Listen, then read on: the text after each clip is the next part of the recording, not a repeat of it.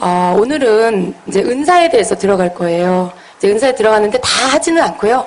지금 하고 있는 기름부음학교, 목요일 날 하고 있는 기름부음학교하고 중복이 되는 부분이에요, 이 부분이. 그래서 꼭 필요한 부분들, 특히 예언과 연관되어져서 방언, 방언 통역, 예언, 예. 하고 그 외에 한두 가지 더 필요하면 그 은사들을 다룰 것입니다. 그래서 오늘 첫 번째 시간으로 어, 언어의 은사 가운데 성령의 그 방언, 예, 방언의 은사, 아홉 가지 은사 가운데 방언의 은사를 다루겠습니다. 여러분 방언의 은사는 언어의 은사예요. 우리가 그 성령의 아홉 가지 은사가 계시의 은사의 그룹이 있고요. 언어의 은사의 그룹이 있고 그다음에 능력 행하는 은사의 그룹이 있어요. 능력이 나타나게 하는 은사는 믿음의 은사, 병 고치는 은사, 능력 행함의 은사. 이 세 가지가 능력 은사예요. 그러니까 우리가 쉽게 능력이 나타나려면 능력 어떤 기적이 나타나려면 뭐가 있어야 되겠어요? 믿음이 있어야 되겠죠. 그러니까 그 원리적인 것들과 이렇게 묶어 놓은 거예요. 물론 모든 은사가 믿음으로 하는 것입니다. 그러나 특별히 하나님의 어떤 기적이 일어나고 치유의 기적이 일어나고 이런 부분들은 그 시간에 특별한 초자연적인 믿음이 임해야만 나타나는 기적이에요. 그래서 반드시 믿음의 은사와 능력 행하는 은사는 같이 연결되어 있습니다. 마찬가지로 언어의 은사의 방언의 은사와 방언 통역의 은사와 예언의 은사 이 세 가지가 한 묶음입니다. 그래서 어, 방언의 은사가 열리면 그 다음 방언하는 자들은 통역하기를 구해라 그러셨어요. 그래서 방언을 한다라면 그 다음 여러분이 구할 것은 주여 내게 통역하게 하옵소서 이렇게 구하셔야 돼요. 통역은 여러분 통역과 예언은 굉장히 가까워요. 그래서 방언 통역과 예언이 동떨어져서 방언 통역을 받고 오랜 후에 예언을 받는다 그런 것이 아니라 방언 통역 안에 이미 예언적인 것들이 들어 있습니다. 방언 통역이 되어지면 이미 그 사람은 어떤 예언적인 부분들이 와 있는 거예요. 그래서 우리가 우리의 방언의 기도가 무슨 말인지 아는 것처럼 그게 통역인 것처럼 또 내가 기도한 것에 대해서 말씀해 주시는 주님의 그 말씀들을 통역되어서 듣는 것 이것이 통역인데 그 통역에 주님이 주시는 말씀만 떨어뜨리면 그게 뭐예요? 그게 예언이에요. 예. 그런데 이제 예언을 예언만 하게 되는 경우는 이 부분에서 조금 더 깊은 단계입니다. 그래서 조금씩 차이는 있지만 이 세 가지 은사는 연결이 되어 있어요. 방언을 못하면서 방언 통역할 수 없고요. 방언을 못하면서 방언 통역 못할 뿐더러 예언도 할 수가 없어요. 그래서 여러분이 좀 더 깊은 어떤 은사적인 부분들을 체험하고 싶다면 반드시 방언을 받으셔야 돼요. 방언 받는 것도 어려운 게 아닙니다. 예. 여러분, 방언은 굉장히 우리가 생각하는 것처럼 어려운 게 아니고 생각하, 여러분이 생각하는 것보다 어쩌면 여러분이 방언 받기 노력한 것보다 방언은 사실상 알고 보면 훨씬 더 쉽게 받을 수 있는 은사라는 거. 예. 여러분, 우리가 한국 사람으로 태어나서 한국 부모 밑에서 이제 말을 하기 시작하면 가장 먼저 배우는 말이 한국어죠. 예. 또 미국에서 태어났으면 반드시 영어를 할 거예요. 그런데 우리가 천국 시민으로 태어났으면 천국의 언어를 하는 것이 마땅하지 않습니까? 그죠? 원리적으로 생각해 볼 때 우리가 하나님의 자녀가 됐으면 천국의 언어, 영의 언어를 하는 것이 당연한 거예요. 근데 우리의 사고 체계는 내가 배우지 않았기 때문에 음, 내가 그거에 대해서 어떻게 하는지 모르기 때문에 나는 못해. 라고 생각하기 때문에 방언을 쉽게 못합니다. 그러나 이미 우리에게 내가 하나님의 자녀가 됐다라면 방언할 수 있는 기능이 내 안에 이미 열려 있다라는 걸 믿으세요. 근데 여러분에게 믿음이 필요한 것이고요. 어떤 그 부분에 대해서 자, 자, 조금 필요한 지식을 통해서 인식하고 이해하고 나면 여러분이 방언하는 것이 결코 어렵지 않다라는 거예요. 예, 며칠 전에도 어, 이렇게 지방에서 아주 사모하는 분들이 오셔서 방언을 너무 사모하셨는데 방언 받고 가셨어요. 예. 그리고 또 방언 이렇게 처음 받았던 그 방언에 조금 이렇게 기름 부음이 없고 주님의 임재 안에 있지 못하다 보니까 방언이 약간 약해졌어요. 근데 그분 다시 충만함에, 충만하게 받고 다시 새 방언으로 바뀌어서 그래서 가셨어요. 예. 그런 거예요. 우리에게 있어서 방언은 어려운 게 아닙니다. 오늘 방언의 은사에 대해서 조금 이론적인 부분들을 배울 것인데요. 먼저 방언이란 방언이란 무엇이냐? 방언은 어, 배운 바 없는 언어예요. 그죠? 우리가 방언을 따로 공부해서 언어로 배우는 게 아니에요. 배운 바 없는 언어로서 어, 영과 혼이 분리되는 상태에서 사람의 의지와 상관없이 영으로 말하는 현상이다. 이렇게 에, 정의를 했는데요. 좀 쉽게 말을 하면 방언은 영과 내 영이 있고 혼이 있죠. 근데 여러분 제가 많은 사람들을 방언하는 것을 봤을 때 실제로 간혹 가다가 자기 혼에서 하는 사람도 있더라는 거예요. 그러니까 방언을 받았긴 받았는데 성령 안에 성령의 그 임재 안에서 있지 않다 보면요. 방언을 받은 걸 내가 믿어요. 그래서 방언을 하긴 하는데 너무 메마르고 뭔가 그냥 소리로만 나오는 그냥 소리로만 나오는 방언이 있더라는 거예요. 실제로. 근데 여러분 이런 것들이 내 영에서 나오는 방언이 아닌 것이 있더라는 거죠. 방언은 깊이가 있어야 돼. 내 영에서 그것을 꼭 표현하자면 이 배에서 나오는 방언이 있고요. 여기 가슴에서 나오는 방언이 있고요. 목에서 나오는 방언이 있더라는 거예요. 근데 여러분 이거는 여러분이 조금만 영으로 민감하면 느낄 수가 있어요. 방언에는 분명히 그 사람의 중심이 들어갑니다. 그 사람 속에 있는 그 간절한 마음이 여러분 기도할 때 어때요? 한국말로 기도할 때도 여러분이 마음에 막 간절해지면 울먹이게 되고 눈물이 터지고 하나님 앞에 막 뭔가 매달리는 것 같은 간절함으로 기도를 하시죠. 여러분의 영도 똑같아요. 여러분의 영도 방언으로 기도를 하게 되면 여러분의 감정이 이입이 되고요. 뭔가 이 가슴에서 뜨거운 것들이 들어가고요. 그게 방언에 실어지게 되면 옆에 있는 사람도 아, 이 사람 기도가 너무나 간절하구나. 이 사람이 뭔가, 뭔가 애타게 하나님 앞에 기도, 구하고 있구나. 그걸 그 말이 뭔지는 못 알아들어도 영으로 느낄 수 있다는 거죠. 그게 영의 기도예요. 근데 기도를 하는데 너무 이렇게 메마른 그냥 아무런 느낌도 없고 감정도 없고 예, 그냥 마치 그냥 입에서 나는 소리로만 들린다라면 아직 이 깊은 단계로 들어가지 않은 방언이에요. 솔직히 말씀드리면 그런 방언 통역이 안 됩니다. 예. 그래서 이 방언이 깊이 깊이 이렇게 들어가야 그 사람 영의 깊은 기도가 통역이 돼서 나와요. 이 통역도 제가 통역을 해보면서 느끼는 게 얕은 단계 통역이 있고요, 깊은 단계 통역이 있다라는 거예요. 그것은 그 사람의 방언의 기도에 따라서 달라요. 음. 이, 이 부분들은 여러분 이렇게 체험으로서만 알 수 있는 건데요. 기도가 여러분이 어떠세요? 한국말로 기도할 때도 처음에 어떠세요? 기도가 좀, 좀 여러분이 의지적으로 하는 기도들이 있죠. 처음에 할 때. 예. 의지적으로 기도를 시작해서 기도를 막 하다 보면 어느 지점에 가면 뭔가 마음이 동하고 기도가 깊어지면서 막 더 간절한 마음으로 기도하게 돼요. 영의 기도도 방언도 똑같이 그런 어떤 단계들이 있다라는 거예요.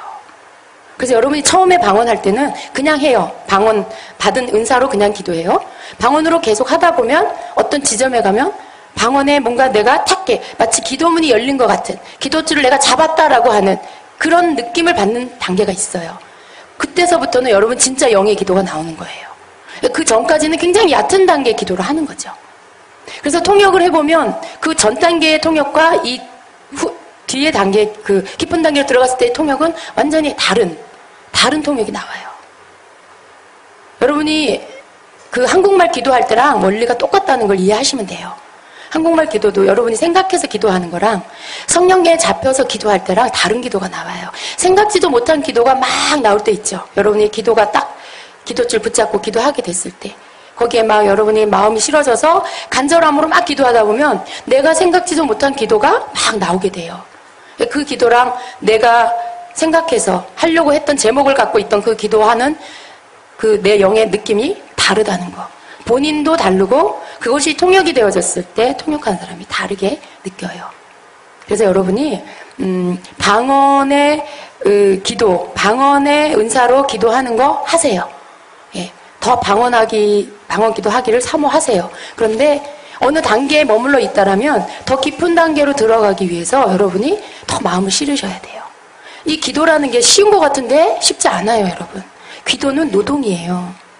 여러분 안에 인내가 있으셔야 되고요. 기도에 내가 기쁨이 때로 없을 때에도요, 그래도 기도해야 돼요.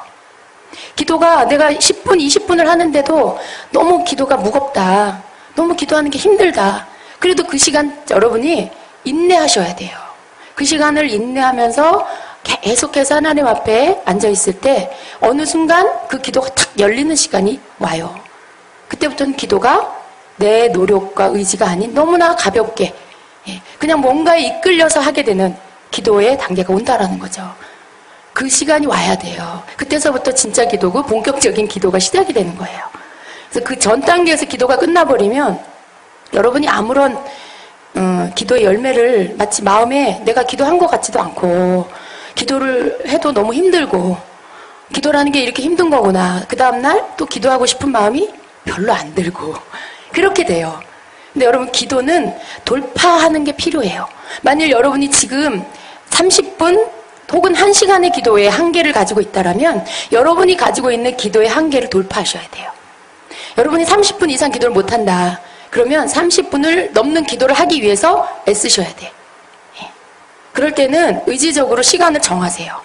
30분에서 여러분이 10분을 늘리든지 20분을 늘리든지 내가 오늘은 40분을 기도하리라, 50분을 기도하리라. 정하시고 그 시간을 채우는 노력이 필요해요, 처음에는. 그걸 통해서 여러분의 한계를 뛰어넘어서 기도하다 보면요. 여러분 주님이 우리를 보고 계세요. 근데 우리가 기도하려고 애쓰는 이유가 뭐예요? 하나님 앞에 정말 어, 주님의 뜻을 알기 위해서 예, 기도하면서 주님과 교통하고 싶어서 하는 거 그거잖아요. 주님이 그걸 모르실 리가 없죠. 그걸 아시기 때문에 우리가 내 믿음의 분량, 내 어떤 영적인 단계의 분량 안에서 막 이제는 그 한계를 느끼고 좀 더 다음 단계로 넘어가려고 하는데 잘 안 되기 때문에 주님 앞에 막 애쓰는 모습 그걸 보시면서요 주님이 역사해 주신다라는 거예요. 돌파는 언제 일어나냐면 내가 그렇게 하려고 할 때, 그렇게 하려고 할 때 기도의 돌파가 일어나면서 그, 그 시간이 이렇게 뛰어넘어지게 돼요. 그러면 그다음부터는 30분 기도하는 게 아무것도 아닌 30분이라는 기도가 애써야 하는 기도가 아니라 그냥 앉아서 기도하면 최소한 30분은 그냥 할 수 있는 내 기도 시간이 되는 거예요. 그 돌파가 없이는 절대로 그 다음 단계 더 긴 시간의 기도를 할 수가 없어요. 여러분이 한 시간 기도를 마찬가지로 한 시간 기도를 하고 있다. 그러면 한 시간 기도에서 두 시간 기도로 늘리려면 한꺼번에 하기가 너무 어려워요. 한 시간의 기도를 돌파하기 위해서 여러분이 애를 쓰시고요. 그 시간이 돌파되고 나면 그 한 시간 넘어서의 기도를 하세요. 그러면 여러분이 기도의 맛을 조금씩 조금씩 더 깊은 단계의 기도의 맛을 보게 돼요. 그렇게 해서 기도의 시간이 늘어나는 거지 어느 날 한꺼번에 한 시간 기도가 너무나 즐겁게 되고 두 시간 기도가 너무나 행복하게 되고 그러기는 참 어려워요, 여러분. 그래서 이 영적인 세계는 우리가 밀고 들어가는 거예요. 침노해서 들어가는 거예요. 그래서 내가 얻는 거지. 그냥 내가 맨날 수동적인 자세로 내가 하는 만큼 하고 내가 정해놓은 한계 안에서 하면 더 발전이 없다는 거. 더 깊은 단계로 들어가지지가 않아요. 하려고 할 때 성령께서 잡아 이끌어 주시는 거지. 내가 여기 이만큼이면 됐습니다라고 한다면 더 이상의 발전은 어렵다라는 거예요. 된다 해도 시간이 굉장히 오래 걸립니다. 제가 방언 은사를 이제 하다 보니까 기도에 대한 이 부분이 같이 나오게 되는데요. 여러분의 꼭 필요한 말씀이라고 그렇게 생각이 됩니다. 자, 그래서 방언은요, 어, 배운 바 없는 그런 언어예요. 그리고 이 방언 안에도 뒤에 가서 할 거지만 방언에 어, 뭐 실제로 어, 이렇게 실제로 우리 이 열방 가운데 모든 나라 가운데 사용되어지는 외국어 방언이 있고요. 또 하나는 천사의 말의 언어가 있어요. 그래서 배운 바 없는 언어, 내가 나, 내가 하는 방언이 굉장히 유치하다. 예, 내가 하는 방언이 뭐 이렇게 랄랄랄랄랄라 이렇게 나온다. 그래서 난 하기 싫다. 분 많죠. 예, 내가 하는 이 소리 자체가 아, 내가 생각해도 이건 아닌 것 같아. 예, 예. 좀 무슨 말인지는 모르더라도 말이라도 좀 이렇게 세련되고 유창하게 좀 나왔으면 좋겠는데, 어? 진짜 내가 무슨 한 살짜리 애기도 아니고 왜 이렇게 애기 같은 소리가 나올까 그렇게 생각할 수 있어요. 근데 여러분 그거는 우리가 혼적인 그 원리로 생각해서 그래요. 영의 영의 원리를 알면요, 이 소리가 어떤 소리가 나느냐가 중요한 게 아니에요. 제가 통역을 해보면 어떤 사람은 정말 유창하게 막 외국어 같은 언어로 다 방언하는 분이 있어요. 근데 그분의 통역이나 랄랄랄라 하는 분의 통역이나 특별하게 뭐가 다르지 않다라는 거예요.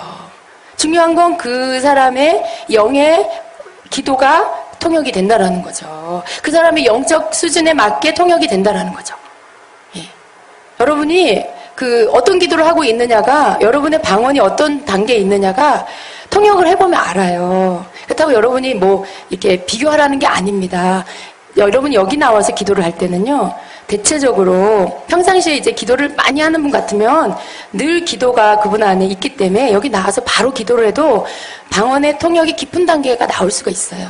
그런데 이게 기도의 그 영역이 좁고 기도 생활이 생활화되지 않은 분들은요, 여기 나와서 기도를 하게 될 경우에 초반에 대부분 얕은 단계의 기도가 나와요. 제가 들어보면 굉장히 얕은 단계의 어떤 자기의 그 연약함을 고백하는 그런 음, 내용이라든가 뭐 아주 굉장히 그런 또 깊이가 별로 없는 그런 기도가 나올 수가 있어요.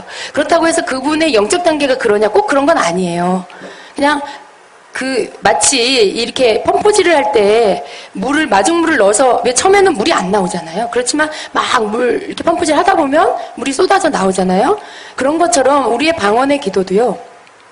평상시에 기도를 많이 안 하거나 좀 그러면 여기 나와서 기도를 하면 이제 막 이렇게 펌포질 빈 펌포질 하는 것 같은 예, 그런 분도 있어요.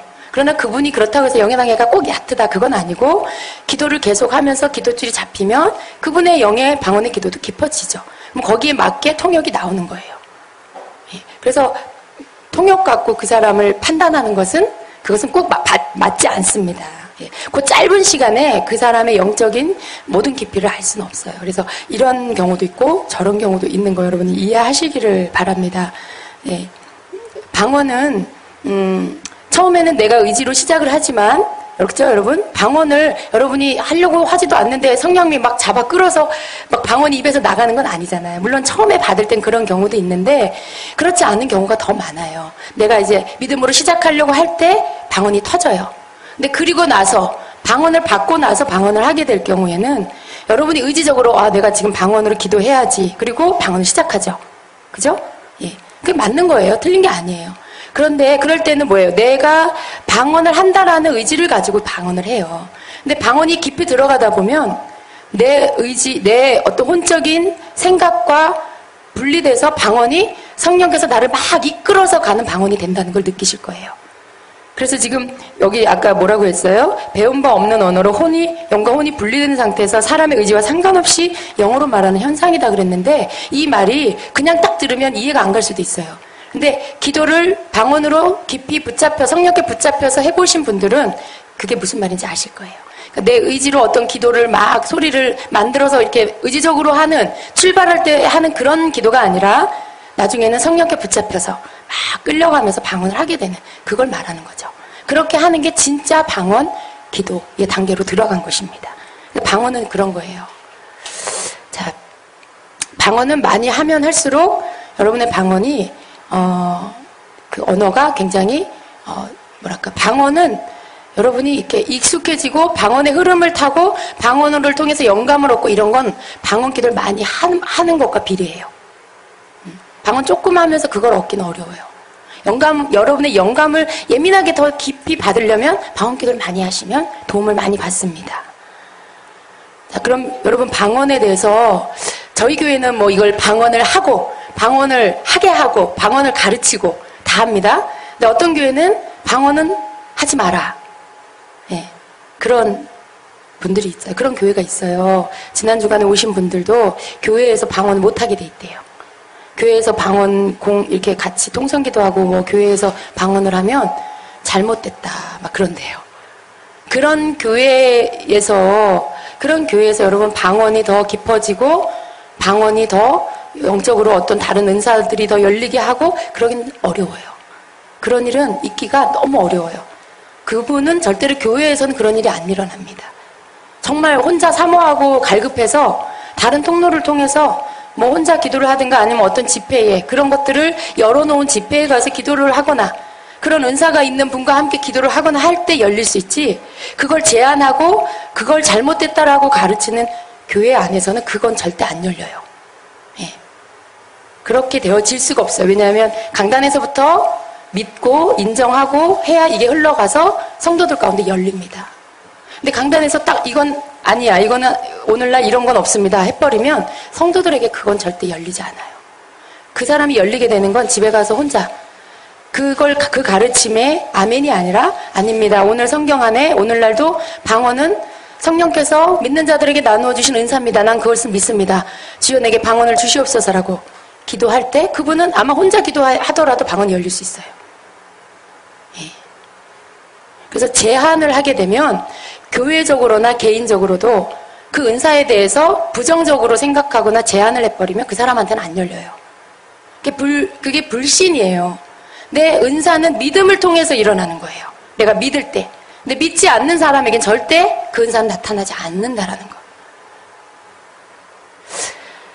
자, 방언은, 음, 그렇다고 해서 여러분 방언이 무슨 구원받은 증표다. 그건 아니에요.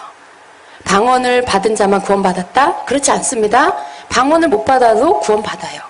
예. 구원과 방언은 상관없어요. 방언은 사모하는 자에게 주시는 은사지 구원의 표시는 반드시 구원의 표시는 아니라는 것입니다. 음, 제가 교재에 있는 거를 조금 예, 없는 걸 하고 있는 걸 조금 건너뛰겠습니다. 실제적인 부분만 여러분에게 좀 전달해 주고 싶습니다. 자, 신약 성경에 기록된 방언에 그 방언을 우리가 좀 보면은요. 방언은 무엇이냐? 방언은 첫째 믿는 자들의 에, 믿는 자들에게 나타나는 표적입니다. 마가복음 16장 17절에는요. 믿는 자들에게는 이런 표적이 따르리니 곧 그들이 내 이름으로 귀신을 쫓아내며 새 방언을 말하며 말씀해요. 또각 어, 두 번째로 각 민족이 사용하는 언어로서의 방언이 있어요. 사도행전 2장 4절에는요, 그들이 다 성령의 충만함을 받고 성령이 말하게 하심을 따라 다른 언어들로 말하기를 시작하니라 말씀하고 있습니다. 자, 세 번째는 성령이 임할 때 따르는 현상으로, 예. 성령 세례 받을 때 혹은 성령이 임할 때 따르는 어, 현상으로 방언이 터져요. 그런 일들이 많이 있습니다. 사도행전 19장 6절에도요, 바울이 그들에게 안수함에 성령이 그들에게 임하심으로 방언도 하고 예언도 하니 말씀해요. 예. 그러니까 이전에 요한의 물세례만 알았던 사람들이 복음을 듣고 예수 그리스도를 그 예수 그리스도의 죽으신가 부활하심에 대한 복음을 듣고 그리고 안수하여 기도했더니 그들에게 성령이 임했죠. 예. 그러면서 방언이 터지고 예언도 터지고 그랬다라는 거예요. 그래서 성령이 임하실 때 따르는 현상으로 방언의 은사가 나타나기도 합니다. 또 네 번째로 초, 성령의 초자연적 은사 중에 하나라고 성경에서 말씀합니다. 고리도전서 2장 10절로 11절에는 성령의 아홉 가지 은사를 말씀하고 있죠. 어, 능력 행함, 어떤 사람에게 예언함, 어떤 사람에게 영들 영들 분별함, 또 다른 사람에게 각종 방언 말함. 예, 그리고 어떤 사람에게는 방언들 통역함을 주시나니 이 모든 일은 같은 한 성령이 행하사 그의 뜻대로 각 사람에게 나누어 주시는 것이니라 말씀해요. 그래서 초자연적인 성령의 은사 중에 하나다. 그리고 가장 보편적으로 많이 나타나는 은사라는 것을 우리가 알 수가 있습니다. 예. 또 방언의 종류가 있어요. 방언에는 사람의 방언과 천사의 말 이 두 종류가 있습니다. 고린도전서 13장 1절에는 내가 사람의 방언과 천사의 말을 할지라도 사랑이 없으면 소리나는 구리가 울리는 깽가리가 되고 말씀합니다. 여기에서 말하는 이 사람의 방언은 어떤 언어의 형태를 갖추어서 그 방언을 사용하는 어, 사람이 방언을 말하는데 예를 들어 내가 미국 어, 어, 영어 방언을 한다, 중국어 방언을 한다. 그러면 실제로 그 언어를 쓰는 나라에서 그 말을 알아들을 수 있는 그런 방언. 이게 사람의 방언이에요. 예. 하나님께서 어떤 선교지에서는 이런 일들도 행하십니다. 예. 전혀 배운 적이 없는 어떤 나이 드신 어, 할머니인데 할머니인데 그 나라의 어, 공항에 이렇게 통과해서 가는데 뭐가 이렇게 걸렸어요. 그랬는데 그분이 성령께서 지혜를 주셔서 방언으로 말해라. 라고 하셔갖고 방언을 막 말했는데 실제로 그 나라에서 알아듣는 언어로 듣고 통과가 됐다라는 예, 그런 이야기도 있어요. 그러니까 하나님은 능치 못함이 없으신데 특별히 성교 현장이나 이런 아주 뭐 돌발 상황의 어떤 그 극, 예, 극한 극적인 상황 속에서는 하나님께서는 그런 일들도 행하시죠. 실제로 이 언어가 어, 그런 방언도 있어요. 어, 언어 체계가 어느 나라에서 쓰는 언어를 방언으로 주셔서 중국어 방언, 뭐 일본어 방언. 네.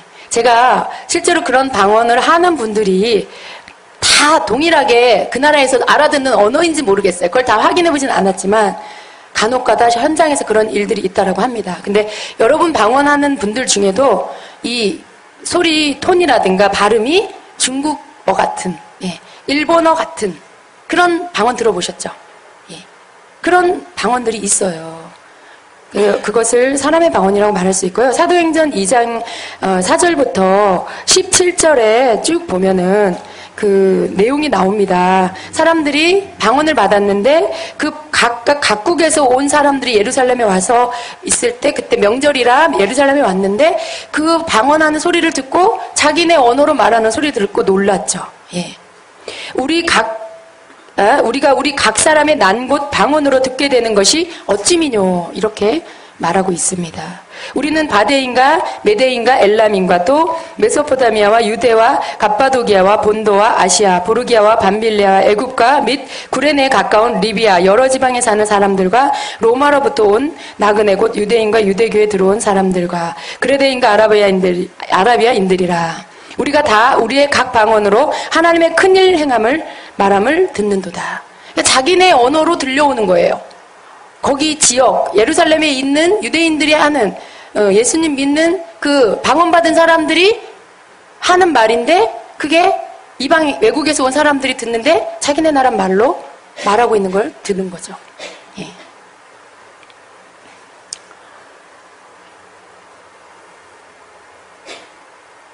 예. 예. 그래서 방언은 이렇게 알아들을 수 있는 그런 언어, 그런 언어도 있다라는 거. 그리고 두 번째는 또 은사로서의 방언. 예. 그 천사의 말. 이 부분에 해당되는 방언. 가장 많이 하는 방언일 거예요. 외국어 방언보다는 천사의 말로 받는 은사적인 언어의 방언이 더 많습니다. 그래서 고린도전서 14장 2절에는요. 방언을 말하는 자는 사람에게 하지 아니하고 하나님께 하나니 이는 알아듣는 자가 없고 그 영으로 비밀을 말함이라. 알아듣는 자가 없는 방언. 여러분의 방언 알아듣는 방언인가요? 알아듣지 못하는 방언인가요? 그런 분이 더 많으시죠. 알아듣는 자가 없고 그 영으로 비밀을 말함이라. 내가 방언을 하긴 하는데 방언하는 나조차도 그 말이 무슨 말인지 모르는 그런 언어, 그런 방언. 그런 방언이 있다라는 것입니다. 이 방언이 영의 방언이고요. 그것이 영의 비밀을 말하는. 네. 그래서 통역을 하면 그 사람이 영이 하나님께 무엇을 기도하고 있는지를 알아지게 되는 그런 방언입니다. 어, 또 여러분 방언을 하나님께서 우리에게 주실 때 왜 방언을 주실까? 목적이 있어요. 그냥 뭐 하나님이 뭐 재밌으라고 주시겠어요? 아니잖아요. 방언을 주시는 목적이 있는데 성경에서 뭐라고 말씀합니까? 고린도전서 14장 4절에는 방언을 말하는 자는 자기의 덕을 세우고 예, 자기의 덕을 세우기 위해서 방언을 주십니다. 여러분에게 방언을 많이 하라고 하는 이유는 방언 통역을 해보면 너무나 하나님 앞에 합당한 기도를 그 사람이 영이 하고 있어요. 예. 여러분이 생각해서 하는 기도와 여러분의 영이 하는 기도는 많이 다를 때가 많아요. 물론 비슷할 때가 많, 그럴 때도 많이 있어요. 근데 내가 아직은 초보이고 믿음의 단계가 아직은 하나님의 뜻에 대해서 잘 모르는 상태일 때는 대체로 그 사람의 기도는 눈에 보이는 거, 예, 현실적인 기도를 많이 해요. 그러나 우리가 하나님의 말씀에 대해서 알아지고 믿음이 커지고 예, 그리고 내 자아가 계속해서 하나님 앞에서 죽어지고 그러면서 뭔가 내 속사람이 정말 주님의 말씀 앞에서 순복이 되어지는 사람들은 점점 그 사람의 기도와 그 사람의 영의 기도가 일치가 되어 가요. 예. 그게 이제 성숙해 간다라고 하는 거예요. 근데 여러분 보통 그냥 내가 현실적인 기도를 할 때 그 사람이 하는 한국말의 기도와 그 사람의 영의 기도는 달라요. 그 사람의 영은 아직 어려도요 하나님의 뜻에 맞는 기도를 한다라는 거예요. 통역을 해보면 참 신기해요. 그러니까 성령께서 이 사람의 영과 더불어 하나님 앞에 기도하게 하는 것을 부인할 수가 없어요. 그 사람은 아직 그 믿음의 수준이 아님에도 불구하고 그 그래도 그 수준에 맞게 하나님이 원하는 기도, 하나님이 기뻐할 만한 그런 기도를 한다라는 거죠. 그래서 방언 기도가 아직은 무슨 뜻인지 몰라도 여러분이 많이 하시면 그건 자기의 덕을 세우는 것이다. 자기의 덕을 세운다. 하나님의 뜻에 합한 기도를 많이 하게 되는 거. 그 기도가 꼭 하나님 앞에 상달이 되고요. 응답이 될 것이기 때문에 그렇습니다. 자, 두 번째로 믿지 아니하는 자들을 위한 표적이 되기도 합니다. 고린도전서 14장 22절에는요. 그러므로 방언은 믿는 자들을 위하지 아니하고 믿지 아니하는 자들을 위하는 표적이나 예, 그렇게 말씀하고 있어요. 믿지 아니하는 자들이 방언을 들으면 신기해요. 예. 만일 그 사람이 외국어 방언을 한다 그러면 그것도 신기하고 천사의 말에 방언을 한다 그래도 굉장히 신기한 거죠. 사람이 뭐 이렇게 일부러 막 할 수는 없잖아요. 그래서 하나의 표적이 될 수 있는 것입니다. 또, 어, 또 방언의 유익한 점, 방언의 유익한 점. 방언은 성경에서는 통역된 방언은 공중의 덕을 세운다고 말씀합니다. 고린도전서 14장 4절 5절에는요. 어, 방언을 말하는 자는 자기의 덕을 세우고 예언하는 자는 교회의 덕을 세우나니 나는 너희가 다 방언 말하기를 원하나 특별히 예언하기를 원하노라. 만일 방언을 말하는 자가 통역하여 교회의 덕을 세우지 않냐면 예언하는 자만 못하니라. 예. 방언이 통역이 되면 공동체의 덕을 세운다는 거예요. 이런 거예요. 그러니까 어, 이 말씀을 미뤄볼 때 초대교회 때는 공, 공 예배 때, 공 예배 때 한 사람이 방언을 하고 한 사람이 통역을 하고 이런 이런 어떤 은사를 사용하는 것들이 구린도 교회에서는 공 예배 안에 있었다라는 것을 알 수가 있어요. 그래서 한 사람이 방언을 하게 되면 한 사람이 통역을 할 때 이 통역이 공중 어떤 공동체를 향한 통역, 누구 개인의 개인의 통역이라기보다는 전체 회중을 향한 통역, 우리 모두에게 하시는 주님의 말씀 혹은 기도 이런 것들이 통역이 된다라는 거죠. 그랬을 때 교회에 덕을 끼치게 되는 거죠. 모두가 들으면서 그 말씀 앞에 은혜를 받고 그 말씀 앞에 자기 자신을 이렇게 돌아보게 되는 예. 그런 그런 은혜가 있기 때문에 공동체의 덕을 세울 수가 있는 것이죠. 만일 그렇게 되어지지 않는데 누군가 나와서 방언을 한다. 그건 금지되어 있었어요. 생각을 해보세요. 만약에 예배를 드리는데 어떤 사람이 나와갖고 막 방언을 하는 거, 이한 집사님이 나와갖고 막 방언을 하는 거예요? 근데 아무도 못 알아들어요. 그거는 덕을 끼치는 게 아니고 공동체를 깨뜨리는, 예. 저 사람 왜 저러는 거야? 이렇게 집사님 예를 들어서 그러니까 누군가 통역을 방영을 하면 반드시 통역을 해서 전체적으로 그 말이 무슨 말인지를 알게 해줘야만 이것이 덕을 끼치는 일이 된다는 거죠. 그래서 방언과 방언이 통역이 함께 있을 때 공중의 덕을 세우는 유익이 있습니다. 또 두 번째는 방언은요 하나님께 드리는 내 영의 기도입니다. 예, 고린도전서 14장 2절에 아까 우리가 읽었는데요. 어, 방언을 말하는 자가 사람에게 하지 않냐고 하나님께 하기 때문에 이는 알아듣는 자는 없지만 그 영으로 비밀을 말한다. 하나님께 하는 기도다. 하나님께 말하는 것이다라는 거죠. 그래서 내 영이 하나님 앞에 기도드리는 거. 근데 여러분 방언은 방언의 그 문장의 길이와 통역하는 한국말의 문장의 길이가 똑같다 그렇지 않아요. 그런 어떤 함축되어진 언어라고 봐야 돼요, 방언은. 방언에 예를 들어 내가 방언을 30분 동안 방언을 한다 그러면 그 30분 안에 들어있는 기도 내용은 내가 하는 한국말이 1시간일 수도 있어요. 예. 굉장히 그거는 방언의 기도는 함축이 되어 있어요. 그래서 여러분이 방언으로 기도를 하는 게 유익한 이유가 많은 기도를 할 수 있고요. 오랫동안 기도할 수 있다는 거. 그리고 더 깊이 기도할 수 있다는. 더, 무엇보다도 더 중요한 건 내 영의 기도를 한다는 거. 그게 가장 유익한 거죠. 자, 방언 기도를 하게 되면은요, 내 영의 기도라고 했습니다. 어떻게 내 영의 기도냐? 방언 기도를 하면 아까 제가 초반에 말씀드린 것처럼 내 혼적인 단계에서 내가 생각을 해서 하는 기도 차원이 아니라 내 깊은 곳에 내 영의 어떤 영감을 성령께로부터 주시는 영적인 것들을 느끼면서 기도하게 돼요. 여러분이 기도를 조금만 깊이 들어가면 방언을 하면서 내가 무슨 기도를 하는지 알아져요. 통역은 그렇게 시작되는 거예요. 내가 기도하면서 방언을 하는데 마음으로는 내가 한국말로 뭔가를 막 말씀드리고 있는 거를 여러분 아실 거예요. 그, 그 기도 내용 안에 그 기도 내용이 여러분이 의지적으로 생각해서 하는 기도 내용 그 이상이라는 걸 아실 거예요. 생각지 못한 기도, 중보 기도, 누군가에 대해서 내가 막 정말 간절한 마음으로 기도하고 있는 거. 그게 여러분이 혼에서 하는 기도가 아니고 여러분 안에 방언으로 기도하면서 받는 영감을 받아서 하는 기도예요. 그래서 굉장히 방언이 영감을 받게끔 하는 그런 어떤 능력이 있어요. 내가 한국말로 기도하게 되면 그 단계 깊이까지 못 들어간다는 거예요. 방언으로 기도하게 되면 통달케 되어지는 어떤 성령께서 나로 하여금 내 안에서 통달하셔서 하나님의 뜻에 맞는 기도를 하게끔 하시는 것. 그걸 느낄 수가 있습니다. 그리고 방언을 하게 되면 어, 여러분이 이런 방해 어떤 옆, 에서 산만케 하는 거, 또 뭔가 자꾸만 이렇게 신경 거슬리게 하고, 이렇게 생각나게 하는 거, 잡념들, 그런 것들이요, 빨리 차단이 돼요. 처음엔 힘들지만 여러분이 방언으로 기도를 계속 하다 보면 그런 잡념들이 금방 사라지고요. 또 어떤 이 주변이 의식되는 것들도 많이 가라앉아 버리고요. 기도에 깊이 집중하기가 쉬워져요. 방언이 주는 유익입니다. 이런 것들이.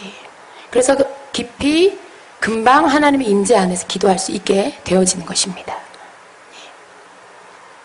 자, 방언은 개인의 경건한 생활에 도움이 됩니다. 여러분, 우리가 방언을 하게 되면은요, 예를 들어 여러분 안에 어떤 사람의 말에 의해서 상처가 됐다, 마음에. 예. 아니면 마음에 서운함이 들어왔다. 그러면 여러분 마음에 평안이 깨진 거예요. 그러면 여러분은 밥 먹다가도 그 말이 생각나고, 예. 일을 하다가도 그 말이 생각나고, 아, 그 사람이 나한테 그럴 수가 있어? 자꾸 이제 이러는 거예요. 여러분 안에 평강, 평강이 깨졌다라는 거예요. 뭔가가 밖에서부터 안으로 들어왔다라는 거예요. 근데 여러분이 그것을 하루, 이틀, 삼일, 일주일 계속 처리하지 않고 놔두면 이제 이게요. 처음에는 요만한 걸로 말 한마디로 들어와요. 근데 그걸 처리하지 않고 놔둬버리면 이게 점점 점점 커져서 여러분 마음을 점점 다 휘짓꾸려 놔요. 다 마치 그냥 그 씨 심어놓은 새싹 올라온 밭에 이렇게 짐승이 들어가서 막 밟아버리는 것처럼 여러분 마음을 그 말 한마디가 들어와서 안 좋은 씨가 하나 떨어져 갖고 여러분 마음 밭을 다 흩어뜨려 놓는다라는 거예요. 그래서 빨리 이걸 처리해야 돼요. 그걸 두면 그게 상처가 되고 그게 나중에 여러분한테 부정적인 어떤 그런 독소가 돼서 여러분 속에 뭔가를 왜곡시키게 되는 요인이 돼요. 여러분이 방언 기도를 하게 됐을 때 그런 일들이 있었다. 여러분이 그날을 넘기지 않고 기도하며 기도 시간에 그 문제를 갖고 하나님 앞에 기도하며 방언으로 기도하면 여러분이 청소가 돼요. 여러분 안이 청소가 돼요. 그래서 막 기도하면서 어, 떤 때는 막 이렇게 뭐요 기침이 나오기도 하고, 예, 뭐 이렇게 구역질이 나오기도 하고 그럴 수 있어요. 근데 여러분 그게 우리가 요걸 조금만 알면은 내 안에 있는 안 좋은 것들, 하나님께로부터 오지 않은 것들, 어떤 부정적인 말이 들어와서 혹은 나쁜 것을 내가 들어서 그게 들어와서 혹은 안 좋은 걸 보고 내 속에 영향을 끼친 어떤 것들 그런 것들이 쫓겨나가는 거예요. 그게 여러분에게 고통을 줄 수도 있어요. 만일 여러분이 누군가와 이렇게 관계가 깨져서 누군가를 미워하는 마음, 그 사람에 대해서 원망하는 마음, 섭섭한 마음이 깊어지고 그러면 여러분 육체에 느낄 수 있어요. 어떤 때는 이 어깨 뒤쪽에 등 쪽에 갑자기 담이 올 수도 있고요. 이거는 이제 체험적인 것입니다. 모두가 그렇다는 건 아니에요. 그러나 갑자기 그런 일들이 일어날 수 있어요. 그때 여러분이 그냥 육신적으로만 보지 마시고요. 그걸 영적으로 아 내가 지금 하나님 안 기뻐하는 그런 게 내 안에 있지는 않나 내 속에 뭔가 그 침체되어 이렇게 나를 밑으로 떨어뜨리는 나를 두렵게 하거나 나로 하여금 위축되게 하는 게 뭔가 있지는 않나. 그런 것들을 한번 이렇게 살펴보시고 기도하셔야 돼요. 그것을 여러분이 기도하면서 방언으로 기도하게 되면 그것들이 나가요. 나갈 때 때로는 이렇게 구역질이 나기도 하고 또 때로는 기침이 나기도 하고 근데 그런 것들을 절제하지 마시고 기도하는 가운데 나타나는 것들을 여러분이 그냥 쏟아내세요. 그리고 나면 여러분이 훨씬 편안해지고요. 마음이 달라지고요. 때로는 심지어 그 즉시로 통증이 떠나가는 일도 있어요. 특별히 이렇게 등 쪽에 뭐가 아프고 그러면 대부분 관계에서 뭔가 깨어진 부분들이 있을 때 그런 일들이 있어요. 그래서 여러분이 그런 거 조금 참고하시면 좋을 것 같고요. 그래서 방언 기도는 나를 이렇게 영적인 부분에 내 마음, 내 심령에 더러워지지 않도록 청소해주는 예, 그런 예, 유익이 있어요. 그런 기능을 해주, 해줍니다. 방언 기도 자체가 축사가 돼요. 여러분 안에 들어온 안 좋은 것들이 여러분이 방언 기도를 하게 되면 축사가 돼서 다 쫓겨나가게 됩니다. 꼭 뭐 귀신이 들어왔다는 게 아니라 우리 속에 들어오는 여러분 이렇게 감기 바이러스 돌아다니다가 내 안에 올 수 있잖아요. 그왜 들어와요? 내가 면역력이 약해지고 내가 어딘가 약한 부분이 있으니까 나한테 그게 들어와서 자리를 잡는 거죠. 내가 영적으로 뭔가 약해 있고 내가 뭔가 지금 놓쳐지는 게 있고 딴 생각하고 있고 그러면 안 좋은 것들이 이렇게 다니다가 나한테 들어올 수 있어요. 꼭 귀신이 들어왔다는 게 아니라 그런 그런 그런 어떤 그 이렇게 오염된 상태에서 우리가 살고 있기 때문에 그래서 우리는 우리 몸만 씻는 게 아니라 우리의 영도 깨끗하게 씻을 필요가 있다라는 거죠.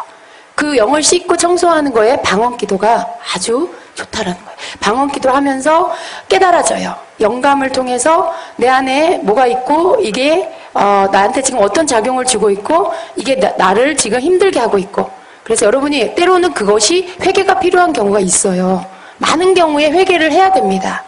서운한 마음이 든 것 자체가 이미 하나님이 기뻐하는 마음이 아니에요. 서운한 마음이 들어오기 전에 내 마음에 좀 더 어떤 무장되어지는 그 부분에 대해서 내가 상처받지 않을 수 있도록 너그러운 마음, 어떤 사랑으로 무장되어 있는 것들이 필요해요. 설사 그것이 들어왔다 해도요, 금방 내가 그걸 알아차릴 수 있는 거. 하나님은 그걸 원하세요. 그 서운한 마음이 하나님께로부터 오지 않았다는 걸 우리가 알아야 돼요. 왜? 하나님은 우리에게 그런 원망스러운 마음을 갖게 한다거나 미운 마음을 갖게 한다거나 그런 걸 주시지 않아요. 그것은 대부분 다 마귀에게로부터 오는 거예요. 근데 마귀가 우리한테 그걸 미끼로 탁 던져줬을 때 그게 나한테 탁 낚싯바늘에 고기 걸리듯이 탁 걸리면 그건 뭐예요? 내가 그걸 물었다라는 거잖아요. 누군가 나한테 어떤 말에 낚싯밥을 딱 던졌는데 내가 그걸 물었다라는 거죠. 근데 내가 뭐 영적으로 깨어있고 무장이 되면 그 말을 분별하죠. 아, 저 말은 지금 저 사람이 아니고 저 사람 속에 있는 어떤 독한 것이 나를 향해서 어, 지금 공격하는 거구나. 아, 그러면서 그 부분에 대해서 바로 예, 먼지가 묻었으면 바로 털어내는 것처럼 여러분의 영적인 관리를 금방 알아차리고 금방 그 말에 대해서 영향받지 말고 털어버리는 어, 그, 그, 말에 대해서 그냥 여러분이 아무렇지도 않게 털어버리든가 어, 저 말은 나와 상관이 없습니다. 이렇게 하고 딱 털어버리는 이런 것들이 여러분에게 필요하다는 거예요. 근데 그 말이 여러분에 들어와서 계속 생각나고 자다 일어나도 생각나고 막 밥 먹다가 생각나 이러면 벌써 여러분 딱 걸린 거예요. 그거 여러분의 잘못도 있어요. 그래서 그 부분들에 대해서 여러분이 회개가 필요해요. 여러분 안에 왜 그게 여러분에게 걸렸나? 하나님 내 안에 이게 왜 나한테 걸리죠? 그냥 넘길 수도 있는데 이 말이 굉장히 저는 불편하고 마음이 아파요. 섭섭해요, 하나님. 그 사람이 미워요. 근데 왜 그런 거예요, 주님? 내 안에 뭐 때문에 이런 감정이 생기는 거예요? 하나님 가르쳐 주세요.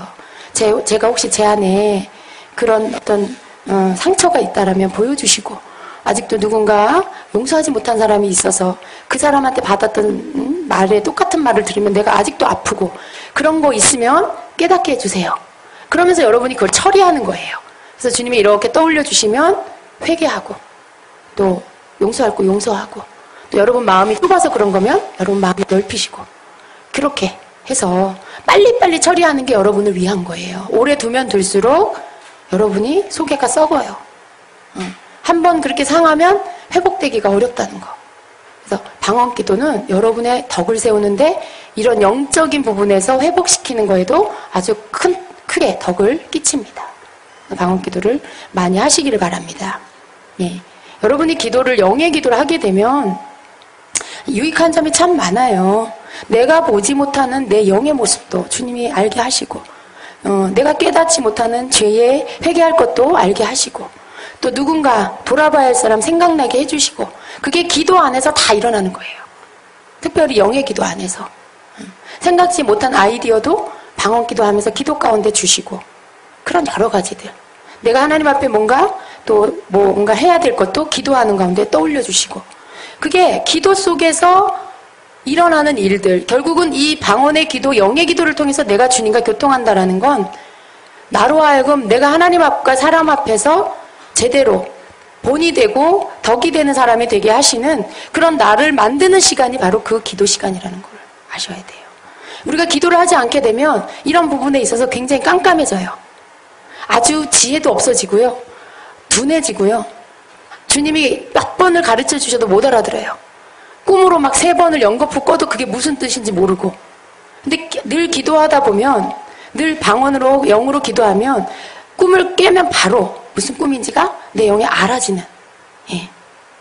그래서 여러분 우리가 항상 깨어 있으면 이런 어떤 교통이라든가 이런 영, 영의 세계와의 이 통로들이 막히지 않는다는 거예요. 그런 것들을 아는 게 그렇게 어려운 일이 아니라는 것입니다. 자, 방언을 통해서 우리가 더 깊은 단계로 들어갈 수가 있는데요. 방언을 하면서 방언 찬양으로 이어지면서 깊은 그 찬양 가운데 우리가 어떤 그런 새로운 그런 그 영적 세계를 경험할 수도 있어요. 방언의 기도가 있죠? 또 방언의 찬양도 있어요. 그래서 방언하다가 같이 회중 가운데 막 찬양하다가 방언으로 같이 막 찬양을 하고 그게 어우러지고 그럼 회중 전체의 찬양, 신령한 노래, 그것을 신령한 노래라 그래요. 그래서 신령한 노래로 막 찬양하게 되고 예, 그렇게 됩니다. 그런 일들이 있을 때 그 안에 입신도 있고 그 안에 환상도 열리고 그 안에 주님의 얼굴도 보고 여러 가지 영의 세계들의 일들이 그 가운데 나타나게 되는 것입니다. 또 방언은요 다른 은사를 받는 통로가 되기도 합니다. 예, 방언을 하면 그 다음에 통역을 받을 수 있고 또 예언이 열릴 수 있고 여러 가지로 또 환상을 보거나 이런 것들도 물론 여러분 꼭 방언을 해야 환상을 보진 않아요. 근데 통역은 방언을 해야 통역을 해요. 그래서 방언은 다른 은사들을 계속해서 어, 받을 수 있도록 열어주는 어떤 통로가 된다는 것입니다. 또 방언은요, 어, 방언을 통해서 영적인 사역을 할 수가 있어요. 여러분이 예를 들어 자녀들이 아프다. 집에 누군가가 지금 뭐 상태가 안 좋다. 그럴 때 여러분이 손을 얹고 주님 치유해 주세요. 임해 주세요. 기도하면서 방언으로 또 이렇게 기도하면 여러분 여러분이 그 어, 아픈 자녀를 위해서 기도하고 치유를 위해서 기도하고 방언으로 어, 기도하면 치유가 돼요. 음. 물론 안 날 때도 있지만 여러분 주님께서 음, 치유를 이렇게 주실 때 그냥 한, 그냥 물론 한국말로 믿음으로 기도해도 나요. 꼭 방언으로 기도해야 된다는 게 아니라 방언으로 기도를 하게 되면 어떤 그런 그, 그, 한, 아픈 사람에게 임하는, 아픈 사람에게 임하는 그 기름 부음, 치유의 기름 부음이, 어, 더 강력하게 일어나는 걸 많이 경험해요. 예. 믿음으로 이 사람 기, 기도했으니까 나았어. 그렇게 해서 낫기도 해요. 예. 그런데 실제로 치의 기름 부음이 임해서 낫는 거. 예. 그런 경우도 많이 있어요. 그게 더 많은 것 같아요. 제가 볼 때. 근데 그럴 경우에 이 치유의 기름 부음이 임할 때 방언으로 막 기도할 때 어떤 영의 뭐 변화가 일어나요. 이 사람 속에 어떤 그 안 좋은 것들 병의 원인들이 떠나가기도 하고 치유의 기름 부음이 임해서 이 사람이 그 순간에 고침을 받기도 하고 그런 일들이 사역 가운데 있다라는 것이죠.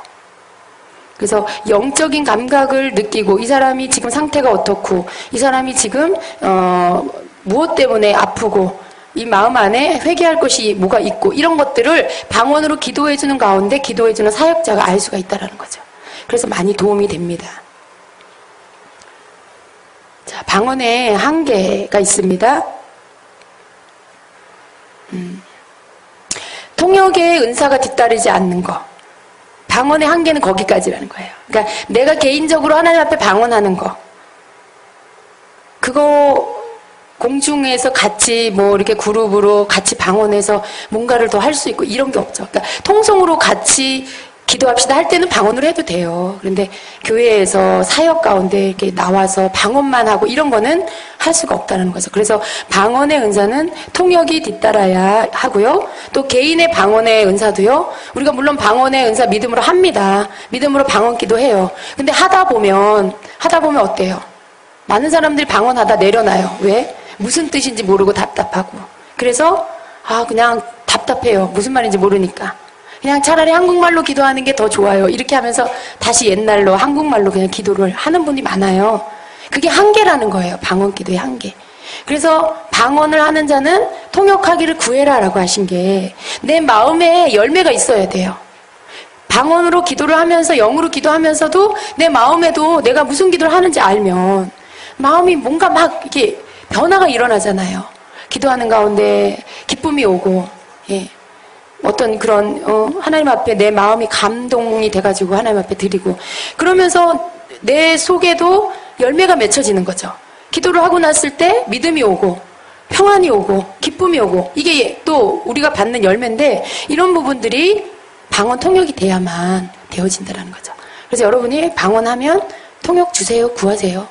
그래서 여러분이 적어도 여러분 개인의 기도가 무슨 뜻인지 알면서 그래서 영의 열매도 맺고 마음의 열매도 맺고 그렇게 기도하시기를 바라고요. 아직 통역이 안 되실 때는 저는 개인적으로 방법을 하나 알려드립니다. 여러분 방언으로 기도하시면서 마음으로는 여러분의 기도를 하세요. 두 가지를 이렇게 하세요. 아무 생각하지 않고 방언으로 기도하는 물론 그 뭐 나쁘진 않아요. 그렇게 하다 보면 기도가 지루해질 수가 있다는 거예요. 그래서 여러분이 꼭 어떤 이 틀 안에서만 기도하라는 게 아니에요. 근데 여러분이 마음이 답답하다. 방언만 기도하면 너무 무슨 뜻인지 모르고 답답해서 방언하기 싫다 하시는 분들은 입술로 방언 기도 하시면서 마음으로는 여러분이 생각하고 있는 거 있죠. 기도해야 될 것들. 그거를 마음으로 기도를 하세요. 그래서 마음으로는 여러분의 기도를 하고 입으로는 방언을 하시면 기도가 되어지다 보면 어느 지점에서 여러분의 영의 기도와 마음의 기도가 만나져요. 하나로 통해져요. 그래서 따로따로가 아니고 성령께서 그 기도 가운데 함께 하셔서 영으로 막 끌어가시는 기도의 지점에 도달하게 돼요. 그 전까지 여러분이 마음을 흩어뜨리지 않는 게 중요하다는 거예요. 그러기 위해서 여러분의 마음의 기도를 마음으로 하시라는 거예요. 소리는 방언으로 하시고. 예. 그게 좀 여러분에게 도움이 되실 거예요. 어. 그래서 고린도전서 14장 14절에는 이렇게 말씀하고 있습니다. 내가 만일 방언으로 기도하면 나의 영이 기도하거니와 나의 마음은 열매를 맺지 못하리라. 그렇죠, 여러분? 예. 그러면 어떻게 할까? 내가 영으로 기도하고 또 마음으로 기도하며 내가 영으로 찬송하고 또 마음으로 찬송하리라. 두 가지 다 할 수 있다라는 거예요. 여러분이 마음으로도 기도하고 여러분이 영으로도 방언으로 기도하고 그렇게 하시라는 겁니다. 공동체 영역에서의 한계는 뜻을 알지 못함으로 공동체의 덕을 세우지 못합니다. 예, 아까 설명했습니다. 아, 여기서는 말씀에 뭐라고 되어 있냐면 14장 고린도서 14장 19절에는요. 어, 그러나 교회에서 내가 남을 가르치기 위하여 깨달은 마음으로 다섯 마디 말을 하는 것이 일만 마디 방언으로 말하는 것보다 나으니라 이렇게 말씀해요. 근데 이 말씀을 보면 교회에서 내가 남을 가르치기 위해서 어, 내가 집사님을 가르치는데 방언으로 막 가르친다고 생각을 해보세요. 네. 너무 웃기죠. 알아듣지도 못하는 말을 갖다가 방언이 좋다 그래서 방언으로 막 가르친다. 그렇게 하면 안 된다는 거예요.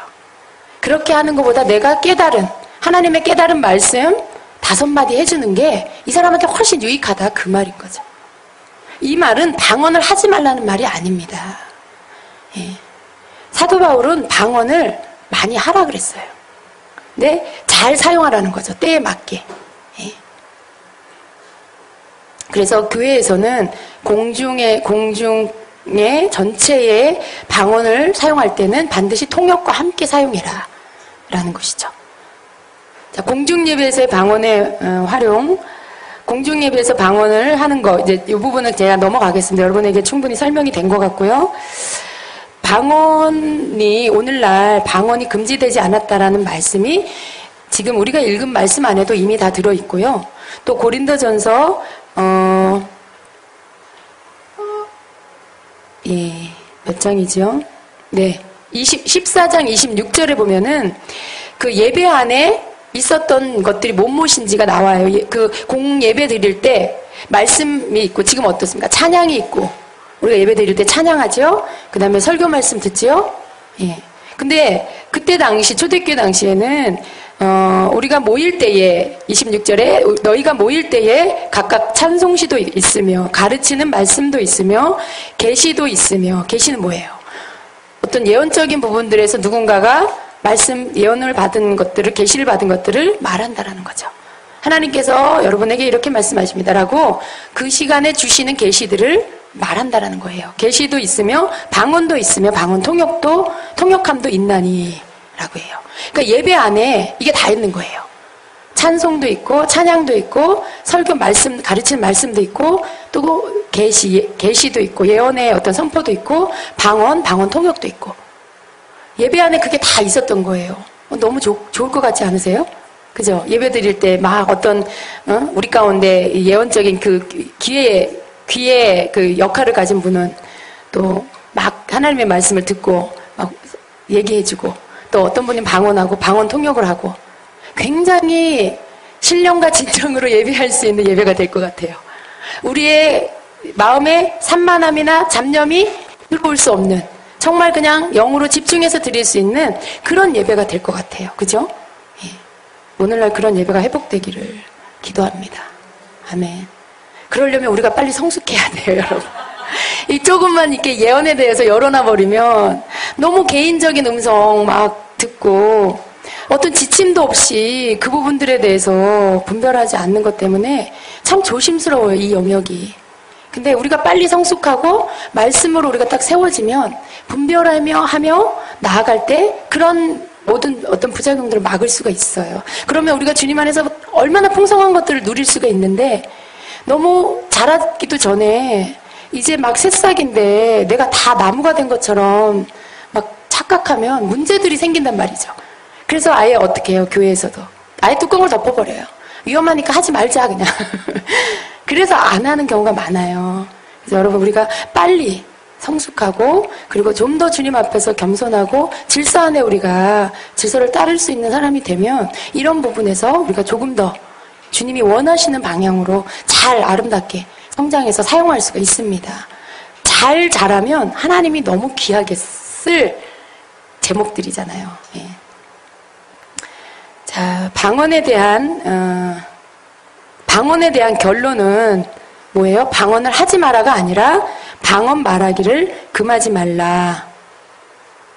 교회에서 공중 예배 때 방언 활용하는 거, 그 말씀을 가지고 일반 교회에서 방언을 하지 말라 그랬다. 성경에 방언하지 말라 그랬다. 이렇게 말씀하시는 분들이 계시는데 그거는 그 뜻이 아닙니다. 고린도전서 14장 27절 28절에 아, 만일 누가 방언으로 말하거든 두 사람이나 많아야 세 사람이 차례를 따라하고 한 사람이 통역할 것이요 만일 통역하는 자가 없으면 교회에서는 잠잠하고 자기와 하나님께 말할 것이요 이 말씀을 가지고 교회에서 방언하지 마라 이렇게 가르치는 분들이 많아요. 근데 그런 뜻이 아니라 지금 이것은 교회에서 공중 예배 때 방언을 어떻게 활용하느냐를 가르쳐 주고 있는 거예요. 그 방법이 두세 사람이 차례를 따라 해라. 그리고 한 사람이 통역을 해라. 그리고 방언 통역 은사자가 없으면 교회에서 공중 예배 때 공적으로 방언하지 말아라. 이 말씀이에요. 이 말씀이 방언하지 말아라라는 말씀이 아니죠. 예. 그래서 방언은 방언을 어, 끝났다. 오늘날 방언은 끝났다. 그런 뜻이 아니라 공예배 때 질서에 맞게 모든 사람에게 덕을 끼치는 방법으로 해야 된다라는 것을 가르치고 있고요. 그래서 고린도전서 14장 39절에는 그런즉 내 형제들아 예언하기를 사모하며 방언 말하기를 금하지 말라라고 분명하게 말씀을 하고 있습니다. 예언 말하기를 사모하고 또 방언 말하기를 금하지 말라. 적극 추천하는 거예요. 방언도 열심히 하고 예언도 더 사모해라 라는 말씀이죠. 그러나 조건이 있습니다. 모든 것을 품위 있고 질서 있게 하라 말씀해요. 40절에 모든 것을 품위 있게 하고 질서 있게 하라 말씀해요. 이 말씀은 지금까지의 방언 예언에 대한 가르침을 다 이렇게 아우르는 말씀이에요. 그 모든 것들에 대해서 필요성을 가르쳐 주고 또 어, 주의점들을 알려주고 그러면서 결론은 뭐예요? 방언을 해라. 방언을 금하지 말아라. 라는 거죠. 예. 그런데 어떻게 하는 거냐면 품위 있게 하고 질서 있게 하라. 라는 말씀이에요. 예. 질서 없는 게 이게 이 은사에서 가장 필요한 게 질서예요. 품위예요, 여러분. 예. 뭐 나도 들었습니다. 나도 봤습니다. 이렇게 해버리면 사공이 몇 명이 되는 거예요.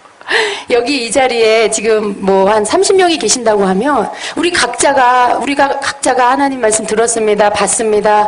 뭐 주님이 이렇게 말씀하십니다. 해 버리면 다 다 배를 끌고 다 산으로 올라가 버리게 돼요. 그러니까 하나님이 원하는 질서는 그게 아니라는 거죠. 그 모든 것들을 열어 주시면서도 당부하시는 말씀이 뭐냐면 질서 안에 있어라. 그 질서가 뭐예요? 교회 안에 주신 질서. 그래서 여러분 항상 이 부분에 있어서 이렇게 하나님이 예, 이렇게 한쪽 말씀만 들으면 안 돼요. 한쪽 말씀 이 어떤 말씀만 가지고 어, 어 이렇게 하는 게 맞잖아요. 근데 그게 아니라 전체를 보고 그 전체 안에서 내가 아, 어떻게 해야 될지를 알고 그리고 그것들을 따를 수 있는 그게 겸손한 것이고 지혜로운 것이에요. 그게 자기의 덕을 끼치는 결국은 자기 자신을 위한 것이 되는 것입니다. 모든 것이 하나님의 때가 있잖아요. 심겼으면 그게 싹이 날 때가 있고 싹이 나면 무르익는 때가 있고 무르익었으면 열매 맺는 때가 있고 꽃이 피고 열매 맺는 때가 있고 그 열매가 익는 때가 있잖아요. 근데 싹이 나고 이제 조금 무르익고 있는데 벌써 내가 다 익었다. 그렇게 생각하면 안 된다는 거예요. 그래서 그런 부분에서 질서 안에서 갈 줄 아는 그런 사람이 돼야 됩니다. 자, 거의 다 했습니다. 예. 그래서 방언은 여러분, 우리에게 굉장히 유익한 은사예요. 음. 그래서 방언을 통해서 여러분이 많은 어떤 영적 통로들이 더 개발되시고요. 또 여러분 안에 기도 생활 하는데 방언을 통해서 힘을 얻으시고 또 나쁜 것들 또 축사도 하시고 그렇게 해서 방언을 통해서 여러분 주님과 더 깊은 교통할 수 있는 그런 자가 되시기를 축복합니다. 예. 질문 있습니까? 질문 없죠? 음. 여러분 우리 교회에서 이 어, 예언훈련학교를 하는 이유는요. 음, 좀 더 건강한 그리고 좀 더 바른 예언적인 어떤 성경에서 말씀하고 있는 은사적인 것들을 더 많은 사람들에게 유익하게 나누어 줄 수 있는 통로가 되기 위함이에요. 여러분들이 이런 부분들을 사모하시잖아요. 어떤 누구보다도 더 이 은사들을 빨리 경험할 수 있는 기본 적인 마음을 가지신 분들이에요. 만일 관심이 없고 내가 여기에 대해서 부정적인 생각을 갖고 있다. 그 사람은 이걸 받아들일 수가 없잖아요. 그러나 여러분이 사모하고 열린 마음이 있다라면 이미 여러분에게 이 은사를 받아서 훈련 받을 수 있다라는 그 그릇이 준비된 것이죠.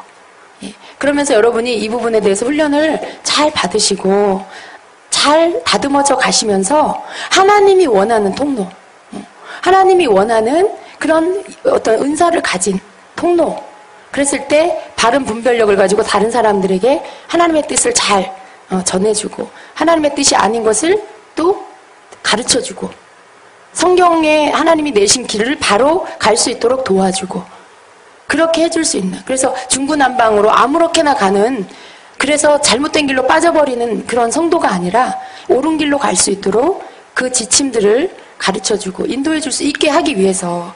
여러분 그게 나 자신도 되고 나에게 내가 또 도와줘야 할 어떤 사람들, 성도들에게도 해줄 수 있는 그런 자가 되기 위해서 우리가 이걸 배우는 것, 것입니다. 예. 그래서, 어, 주님 안에서 우리가 잘 자라가기를 축복해요. 여러분이, 어, 이후에 이 부분들에서 다 배우고 나면 정말 많은 부분이 여러분에게 유익할 거예요. 은사가 있는 부분도 더 성숙하게 될 거고 더 다듬어지게 될 거고 그래서 여러분 안에서 계속해서 이런 부분들이 증가되기를 축복하고요. 계속해서 무르익게 되기를 예수님의 이름으로 축복합니다. 아멘. 기도하겠습니다.